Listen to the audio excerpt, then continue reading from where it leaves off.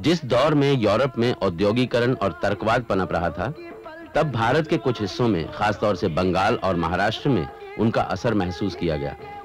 लेकिन उत्तर भारत के परंपरा में जकड़े समाज ने इसका प्रतिरोध किया, जिसका नतीजा था अठारह सौ सत्तावन की बगावत।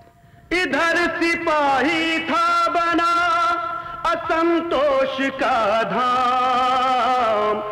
गरज उठा एक सिंह था मंगल पांडे नाम। मंगल पांडे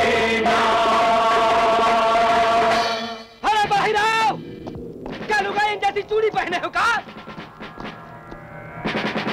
अरे सौख तुम्हें भगवान की अपने पिता अपनी मैया की अरे कब तक चाहे करोगे जुलुम ज़बरदस्ती अब तो आँखें खोल के देखो कदम होश में आओगे, जब धर्म भ्रष्ट हो जाओगे। कड़ा बाहर। मरद बच्चा, निक्सा बाहर।